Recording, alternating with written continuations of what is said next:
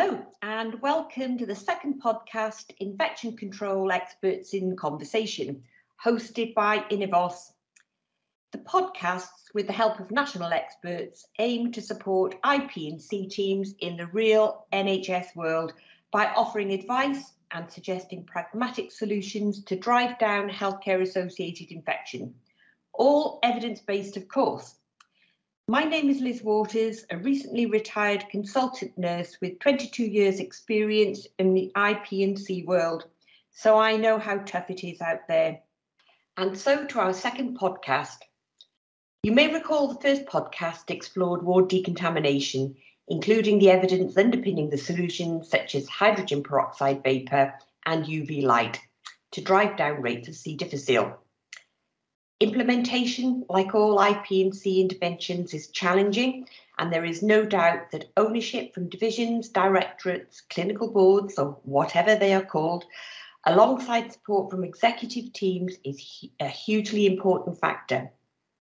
So this episode will pay particular attention to ownership, influence and organisational responsibility.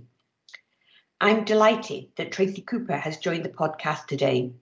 Tracey, a previous IPS president, has huge IP&C experience and is highly skilled at influencing from board to ward and beyond.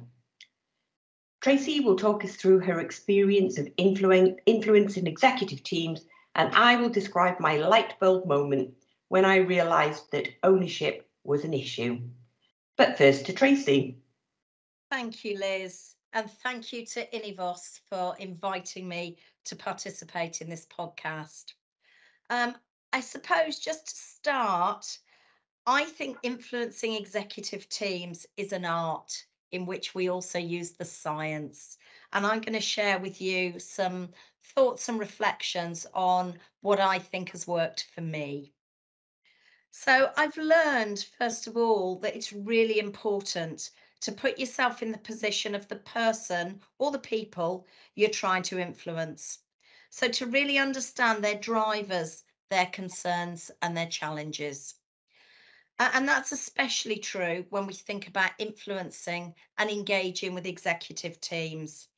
It's vital that we understand their very diverse pressures across the entire organisation, including the external pressures um, what are our external um, stakeholders and um, our, our, wider national expectations and pressures, because that's a big factor when we're, we're coming to engage with our executives.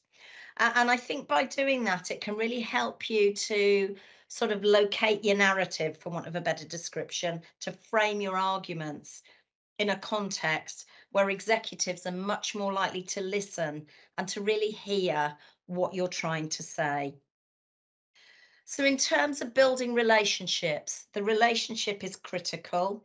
And I would say it's no good trying to build your relationship at the point you've got a big problem.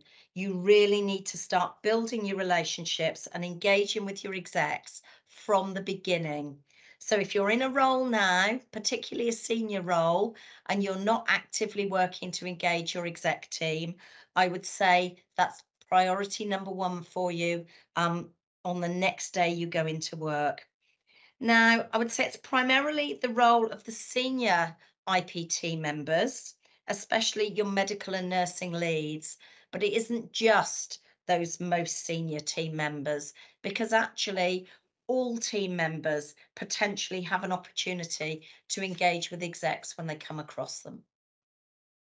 So, how do we go about doing that? Well, I think my experience is that we need to engage with them on multiple fronts, and that's certainly my recommendation. So I'll, I'll talk now through a few ways that I've done that um, and use some examples as I talk about things that have worked for me the first one I would say is get into meetings where the executives are present, as well as other senior managers, divisional or directorate managers, or whatever you have in your organisation. But get into those spaces where those people are present. And then be an active participant in the meeting. Um, be positive and try and be creative. And I know from experience that can be very hard when you're feeling fairly overwhelmed and drained and exhausted. But my advice is definitely to try and do that because people will start to see you across a range of environments in your organization. Um, the other thing is where you can, plan your input to key items in those meetings. So have a look at the papers in advance. Think about what are the battles that you really need to bring to the table. and I think as senior IP members, we we do need to, if you like, pick our battles and pick the things that are most important for us to um, be picking up and pushing forward. So think about what you can bring to the table that's helpful or positive, and how you can frame your issues and challenges in the meeting. Um, because how you frame what you present or the challenges you pose to those members, including exec members, can really make a difference to how people receive that challenge and how engaged they then feel about dealing with the issue. So, um, a good example, uh, and I'm sure people listening to this podcast will have had this experience many times, as I have. Um, you're you're sat looking at some papers, and there's some audit data about an infection prevention element that's really poor, with poor patient outcomes, or worse, there's poor patient outcomes and a real lack of any data that tells you what's going on organisationally. Uh, and I would say things like uh, bacteremias and peripheral cannula care is a good example of this. Um, and, and I've often found that using phrases such as, I'm sure we're all really concerned about X, or I know that we'll all agree this isn't an acceptable standard. But can I ask what's being done to address this, please? And is there any support you need as a division from me to, to move that forward? That can move that challenge um, from being a direct, you know, that isn't good enough, that isn't acceptable, to wrapping it into, I'm sure we'll all agree, because it goes without saying many times that everybody should agree. But if somebody has got a, a, paper that they brought to the table or an issue where they don't have the information or they have evidence that care is poor, I, I think making it more of a generic, we are all in this together, and we I'm sure we'll all agree. Um, when you're then asking, so what's been done to address this, which is really the hard question that you want to ask, you know, this isn't good enough, what you're doing about this? And um, following it up with the what support you need from me makes it very clear that you're expecting their leadership, but it's also being positive and supportive. And if your execs are in the room, your execs will see that. They'll see that positivity, they'll recognize that challenge, and that will help to engage them. Um, and I found that a really useful process and way of framing questions over the years. I think the second thing then that I would frame in terms of actively engaging is the use of leadership walkabouts or whatever you call them. I've always called them leadership walkabouts. Um, invite your exec leads. Make sure you do uh, leadership walkabouts. Invite your exec leads along to join you or ask if you can join them on one of their executive walkabouts um, and frame it as a learning opportunity for you. Because what that does, even if it's only half an hour, it gives you some one to one time where you're walking about together, you're discussing issues, and you're building that personal relationship. You're building your credibility. It gives you an opportunity to understand what the exec pressures are but it also gives you an opportunity to point out those key issues of concern. And what I would say is don't use that to point out 26 different issues because actually the thing that you're really worried about will get lost in the other 25. Focus them on the key things that you want to flag up. So in my um, last few roles, I've used very focused walkabouts. I've done things like C. diff walkabouts, where I've I've literally um, done my leadership walkabouts and I've taken an exec with me when they've been available, um, or I've taken the senior managers in the division and we've gone and we've actually looked at patients with C. diff. We've looked at their care. We've visited wards that have had patients with C. diff on, and we've looked at those basic standards around cleanliness, hand hygiene, prescribing. Co colleagues listening to this will know what those factors are.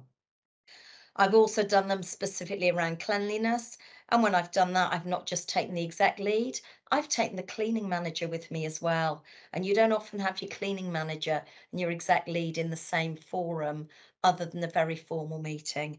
And again, it's a great way to engage and develop those relationships. So I'd also strongly advise you to, if you haven't got one already, to request a board level infection prevention champion, somebody that's not an exec. So a non-exec or an independent member, depending on what your organisation is. Um, again, that gives you an opportunity to invite them directly to come on one of your leadership walkabouts. And I've used these in a number of ways in the past. I've used them to show the non-execs good practice when they've got a real concern about something. And we've been trying to explain through meeting papers and discussion in meetings what we're doing. Actually, a picture paints a thousand, if not a million words. So by taking them along, I've used it to give them assurance, to talk to the staff on the wards and to really get a feel for what's going on. But I've also used them to frame those continuing issues and problems so that they have a better understanding. Uh, and that can be helpful because it means that they can then ask better framed questions of the execs, but also as of me as the lead in terms of accountability. Um, and an example of that is, for example, um, organisations where I've had a real lack of single rooms for isolation for a variety of things. And then we've looked at what we're doing to overcome that. So definitely get your leadership walkabouts. It's always tempting to bin leadership walkabouts when your diary's under pressure. I have to say, they're some of the most valuable things you can do. And even if you only spend half an hour, it gets you out there and visible, as well as visible with your exec team. So that would be my second tip. And then building on from that, I think my third tip is use the organizational governance structure. Now, by that, I mean the formal governance meeting structure. Uh, you will find, I'm sure, that your Infection Prevention and Control Committee or your DIPC report regularly through those committees. Utilise that structure. And if there aren't regular papers going through which give you the opportunity to highlight key issues, you can always ask for a paper to go by exception about a particular issue. And I've certainly done that when I've had a real concern. Now, it's important when you do that to just be very aware of the experience of executives in those meetings. So most trust level or health board level um, governance meetings will have papers in the order of 250 to 350 pages. The paper set, the document set is enormous. And somehow in amongst that, you have got to get your points across. So it's definitely not worth writing War and Peace. I, I know from my own experience going through papers uh, and reports for meetings, if I open a paper and it's six, seven, eight pages long, I'll skim the executive summary and I'll probably move on because I just haven't got time to read the depth. And you don't want them to do that. So my advice and my experience is we need to make the papers clear, concise, and we need to use the correct template. So that correct template's really, really important because again, I've had papers that I've written, they've not been in the correct template and they've just been binned out of the meeting because they're not in the correct template. So do use that. Um, don't shroud wave. So don't over egg the pudding or whatever other um, example you want to give. So be factual, back up what you're saying with data if you've got data. If you haven't got local data, use some national data, but frame your messages really carefully, taking account of what those challenges are for the execs. And that way you'll be able to use those sort of levers to really engage them. Now, something I've learned in recent years uh, and really emphasised for me um, whilst working as a DIPC during the pandemic is to include a written risk assessment in all of those papers, especially if you're having difficulty getting something progressed. And I found it useful to really risk score several options. So the option of taking the action that I'm recommending and the risk scoring the option of not taking the action I'm recommending. Um, to do that, you do need to think through and understand the range of potential risks and pressures. But probably the best example of, of that, and something that is still very relevant at the moment, is when you need to close some beds to allow deep cleaning after, for example, a patient with C. diff or a patient with a CPE. And at times in my career, I've experienced great difficulty in getting this to happen. Um, usually due to operational pressures and particularly uh, the operational pressures at the front door and the inability to offload ambulances. But what I've discovered is by producing these written risk scored risk assessments, and I use the standard NHS 5 by 5 risk matrix for that. So nothing um, particularly fancy or um, difficult to do. And what I've discovered is if you set that out along with national guidance on what you should be doing and your reference, the risk to other patients of not following the recommendation, and don't just pick the obvious risk that other patients will get infected, but include the reputational risks, the risks of um, additional patients or additional outbreaks with um, some of our uh, commissioning organisations, uh, bed closures further down the line, length of stay, and that's a big one because every day a patient stays in a bed they don't need to is a day longer we can't get a patient out of an ambulance, uh, as well as the money and the patient experience. So include all of those issues in your brief narrative about the risks. And then also risk score what the risks are if you don't do what I want, if you don't close those beds. And you can nuance that. So, you know, what is the risk score? If my emergency department cannot release an ambulance from outside the ED when they've got multiple triple nine calls and patients being resuscitated on the pavement, then actually I would score that as a higher risk than the risk of C. diff to patients um, developing elsewhere. However, when those ED pressures ease, then the C. diff risk becomes higher. So you can actually include that and you can make your recommendation around as soon as the escalation level falls to X, whatever X is in your, your organisation, then you can close those two beds, those four beds to deep clean.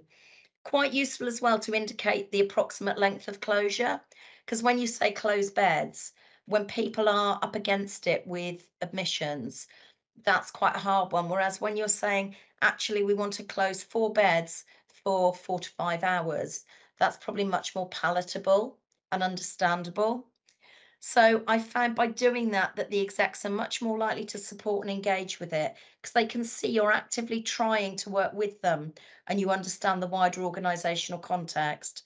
They also very clearly then understand the infection risk in context um, and they can su- actively support that recommendation to do it as soon as it becomes safe in the broadest context to do so that you're dealing with all of the risks relevant to their risk score. I think the other thing I would say with that approach is should you have execs that that refuse to support you, and sometimes they do, then because it's written down and it's risk scored, they are very clearly accepting that level of risk. Um, and in terms of your professional accountability, you've got a very clear audit trail on that. And obviously, if you're including that as an issue as part of a governance paper and a meeting, then there'll be written meeting notes as well to support you. So hopefully you won't be in that position. But in the event you are, you've got a very clear audit trail and you can demonstrate your due diligence in terms of the Health and Safety at Work Act um, and health and safety for patients, but also your due diligence in terms of your own professional code of conduct. Um, so then moving on, I think the most important thing you can do to engage your exec team is keep an open dialogue. I think that alongside the walkabouts are the two key things. So usually that'd be with your lead exec. Most often that's your medical or nursing director, but it might be someone else. I would say if it is someone else, keep your nursing director in the loop um, or your medical director or both. Um, keep them briefed on key issues and, and do that via email or via phone calls. Again, keep the emails short. They get over 100 plus emails a day, some days, maybe 200. Keep it short. And over the years, I've found that a modified SBAR approach has been really helpful. And it's been something I've used with my teams when I've been saying to them, this is the structure that I need you to brief me in so that I can extrapolate and brief on upwards. Um, there's always a temptation to go into detail. Don't go into too much detail. Your execs don't need to know that it's Mrs. Smith in bed three. Um, so my modified SBAR, I go with background first. So for example, C. diff numbers on a ward over the past three months have been X, and currently our position against our target is Y. Then our situation might be we've had two new positive C. diffs from the same bay on ward Y over the past three days. I then summarise the actions that we've already taken, and I would use bullet points. Don't go into long paragraphs. Bullet points are great and just include the relevant info, including, for example, we've changed the curtains and we've cleaned the equipment, but we've been unable to close for a deep clean due to operational pressures. Very simple, very succinct, uh, and you know maybe eight, ten bullet points, whatever you need around the key actions. That tells them where the issues are, it tells them what you've done, and that gives them assurance and confidence that you're on it and then make the recommendation for further action, which in this scenario would be to close that bay for deep cleaning. Include there any support you need from them and be specific because they're not mind readers. So say, appreciate the operational pressures are extreme. Bed management um, won't entertain discussion on when we might close the bay at the moment. Can, can I have some support around doing this when the risk score gets to X or Y? So really frame that very clear as an ask. If it's something unusual or significant or reputationally a potential problem, I would always say ring them or text them if you've got their number. If you don't, get hold of them via their PA and just say there's something that's quite significant. They just need a very quick briefing when have they got two minutes that I can quickly brief them? And again, they will then develop that confidence and trust in you because they know you will brief them, you will support them, and you will have their back as well as the, the safety of patients. The other thing with that, I would say, is if you have the opportunity, try and get regular one to one sessions with them. Um, and that gives you a private two way dialogue where you can seek their views on key issues and seek support as needed. You can also get their advice and support around your own professional development because the one thing I've learned over the years is development and leadership and influencing skills are lifelong learning and there's no magic answer. Um, one size definitely does not fit all. So just to summarize then, I think my, my key learning is to build the relationships, which isn't always easy um, but do it regardless of whether you need it at that point or not. Make the effort. Use your briefings by email, text, and one to one to build confidence, trust, and also to educate them about the issues. Um, you know, if I've had to send them an email about um, some problems with serratia, my execs have probably got no idea what serratia is. So I might include a two sentencer that just sets out very simply what it is and what the risk is utilize those walkabouts and include your non-execs and your other senior leaders in the organisation with you if you can. Use the governance structure and written reports with objective risk assessments uh, and be clear about the decision um, that you're asking for and the accountability. And always, always try to consider that bigger picture and frame your discussions to take account of those wider issues and pressures. Because if your execs recognize that you understand that and you're willing to work with them to get to a solution that deals with your infection risk as well as those wider issues, they will own the issue, they will engage with you. So Liz, I think that's my my summary of, of my learning over the years anyway. I'm sure there are many other things other people have done very successfully, but I hope that's useful for listeners. Uh, abs- absolutely, it is. And I, I just feel as though you've summarised my life for the past 10 years as well. Um, I recognise everything that you you said there, Tracey. It's um, that is really, really valuable um, ad- advice. Thanks, Liz. That's great. I have to say that's all stuff that nobody nobody ever told me, and it's all learned the hard way. So um, if it helps people, um, that's fantastic. Absolutely, it, it, it, does. I, I learned the hard way the hard way too. Um, although I was extremely fortunate to have great executive um, support. Uh, so absolutely, it's great advice, and um, and certainly from my perspective, and I'm sure you'd be the same, Tracey, that that if any senior IP&C team needs to pick up the phone to talk to us, then then I'm sure I, I'm certainly happy to uh, to do that, and I'm guessing you are too. Oh, absolutely, Liz. Um, phone a friend is an underrated source of support in infection prevention and control. Um, I, I started my IP career when you were often the only person in the team, so phone a friend was essential. Fortunately, we've moved on from that a long way, but that phone a friend, both for a bit of personal professional support, to be able to scream quietly down the phone and then talk through your issues um, and, and give each other a bit of support and suggestions. Absolutely. Yeah, we've got broad shoulders, both of us. That was really interesting what you said about leadership walkabouts, uh, Tracey. I found them really, really valuable um, in as much that I was often involved in in uh, preparing a strategy for whatever pathogen we, we, we were dealing with.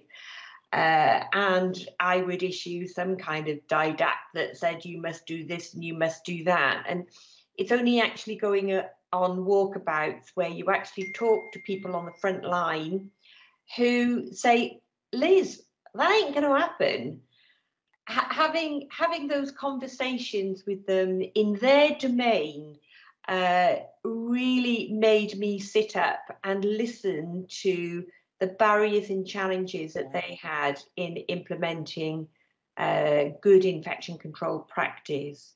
Um, that said, um, I would often say to them, okay, but you're telling me it's a challenge, you're telling me there are barriers. Uh, I can support you with some of those barriers, but come what may, uh, we do have to implement, uh, be it a cleaning regime or hand hygiene audits or something along those lines. Definitely, and, and I used to I used to talk about the art of the possible. So you'd actually stand there and you say, yeah, I, I, I totally get that. I hear it, I see it. But what's the art of the possible? You know, we may not be able to get from there to there in one jump, but what's the art of the possible today? Because there must be something we can do today to make this a little bit safer. And once you start having that conversation and people start thinking, and there's all sorts of creative stuff they do that just gets you moving towards where you need to be. Yeah, I, I would find that they would come up with their own solutions with oh, without always. I, I, absolutely. I I might have to persuade them that that whatever the intervention was had to be done, but they would find they would find a way of doing it, and uh, and it, it, also helped with that relationship building as well. They they didn't feel that I was sitting in my ivory tower, uh, and I was beginning to understand the the true pressures that um, that that are out there. So I, I think those leadership walkabouts are just so so valuable. I think the frustration is they're always the thing that go when you're under pressure and you've got lots of pressure and lots of meetings that people want you in. That's always the time that gets snipped away because actually it's the optional bit. It. And it is critical, really critical. Absolutely, absolutely, absolutely, it is. And then the, the, the, other aspect which I found really interesting with with pick, pick your battles really, mm. uh, and I just want to describe uh, one one battle, uh, which was also a, a, bit of a light bulb moment for me, and it, it was going back a number of years ago where we had C. difficile, which was was not good in our organisation. Mm. Um, indeed, it wasn't good amongst many organisations, to be perfectly frank. Uh, so this this really goes back to, to, to 2012, 2013, and uh, I was I was having sleepless nights about about C diff, and Tom Lister from Inivos uh, rang me up um, out of the blue, and he, he just said, "How are things?" And I just said, "Tom, it's just awful." And knowing um, how uh, are working across the, the country, I I said to him, well, where, where, are they doing that? I asked him, where are they doing this right, Tom? He said, oh, there, there's a few places. He had Adam Brooks, he said, and Royal Wolverhampton. And he very kindly arranged for me to go up and meet the IP&C team there. Uh, and they were they were just wonderful. And coincidentally, on the day I um, I visited, they had their infection prevention and control committee meeting. I was just, I nearly fell off my chair with the level of ownership that was clearly evident in this organisation. The meeting was chaired by the chief exec and was attended by senior divisional represent, representatives, including consultants, matrons, facilities team, and each division or clinical board or whatever you want to call them fed back their own HCAI data. They outlined their numbers of cases, the results of hand hygiene and cleanliness audits, compliance with antibiotic policies and IP&C training, amongst a, a plethora of, of, of other um, uh, interventions. The level of detail was astonishing I had attended an IP&C meeting in my own health board two days previously, and only two facility colleagues attended. I returned to my own health board and uh, and escalated the ownership issue. And a subsequent external consultant who visited the organisation agreed with my analysis, and that's when things changed dramatically. IP&C became an organisational responsibility. It wasn't the IP&C team's responsibility any, anymore. It was an organisational responsibility. We had uh, a champion C. diff uh, group, which was attended by very senior individuals uh, from the from from the divisions. Um, at, unsurprisingly, our uh, healthcare associated infection rates um, went went down, uh, but that was also supported by uh, by HPV deep cleans. So I would urge all IP&C teams to assess their level of ownership. Um, divisional or clinical board attendance alongside the quality of the data being presented is a really good barometer of, of ownership. That said, I both uh, I think both you and me, Tracey, can clearly see the level of stress the NHS is currently under. But the IP&C teams must hold their ground with the advice that they give. Uh, outbreaks of any pathogen just adds further stress to the system and the the detail that you've given Tracey on how to manage that through escalation and support from executive teams um, uh, is really, really useful, particularly at a time when the NHS is under such uh, difficult um, stress. I hope this podcast has given you food for thought it's clear that the NHS is under unprecedented stress and keeping patients safe from HCAI is ever more challenging. It is so important that IP&C teams do not shoulder this responsibility alone. IP&C is an organisational responsibility, and if any senior nurse needs support with all those important exec papers, then just shout, we can help. And don't forget, of course, that Inivos can also support you with your UV and HPV cleans proactively or in outbreak situations. Just give them a call.